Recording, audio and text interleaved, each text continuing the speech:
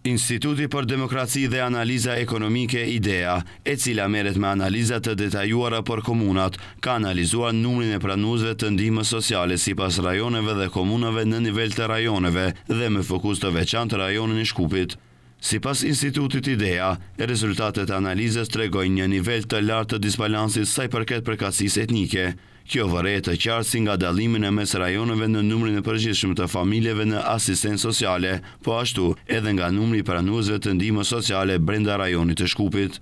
Nga atje sqarojnë se rajoni me më së shumti familje pranuese të ndihmës sociale është rajoni i Shkupit me gjithsej tetë mijë e gjashtëqind e gjashtëdhjetë e tetë familje, pasuar nga rajoni i Pollogut me pesë mijë e tetëqind e nëntëdhjetë e pesë familje, të cilat janë rajone ose me shumicë shqiptare ose me numër të konsiderueshëm të shqiptarëve dhe romëve. Rajonet me më së paku familje pranuese të ndihmës sociale janë rajoni Lindor me gjithsej dy mijë e pesëqind e shtatë familje, si dhe rajoni i Vardarit me dy mijë e shtatëqind e dymbëdhjetë familje, të cilat në përgjithësi janë të banuara me popullsi maqedonase. Sa i përket rajonit të Shkupit, dallimi në mes etnive është jashtëzakonisht i madh, edhe pse shqiptarët përbëjnë vetëm njëzet e pesë pikë njëzet e një për qind të totalit të popullsisë së shtatëmbëdhjetë komunave të rajonit të Shkupit, ato përbëjnë gjashtëdhjetë e një pikë tridhjetë e gjashtë për qind të familjeve të cilat marrin ndihmë sociale në këto shtatëmbëdhjetë komuna.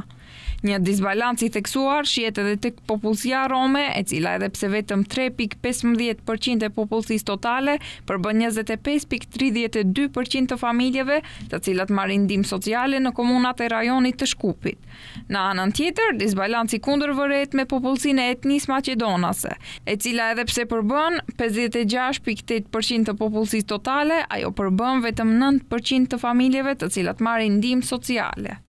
Enda rajonit të Shkupit, nga Instituti Idea informojnë se tre komunat me më së shumti pranues të ndihmës sociale janë, Komuna e Shuto Orizarës me dy mijë e njëqind e tetëdhjetë e nëntë pranues, ose në përqindje njëzet e dy pikë shtatëdhjetë e një për qind nga totali i rajonit të Shkupit, Komuna e Çairit me dy mijë e njëzet e shtatë pranues, ose në përqindje njëzet pikë nëntëdhjetë e katër për qind nga totali, dhe Komuna e Sarajit me një mijë e pesëdhjetë e pesë pranues, apo në përqindje dhjetë pikë nëntëdhjetë për qind nga totali.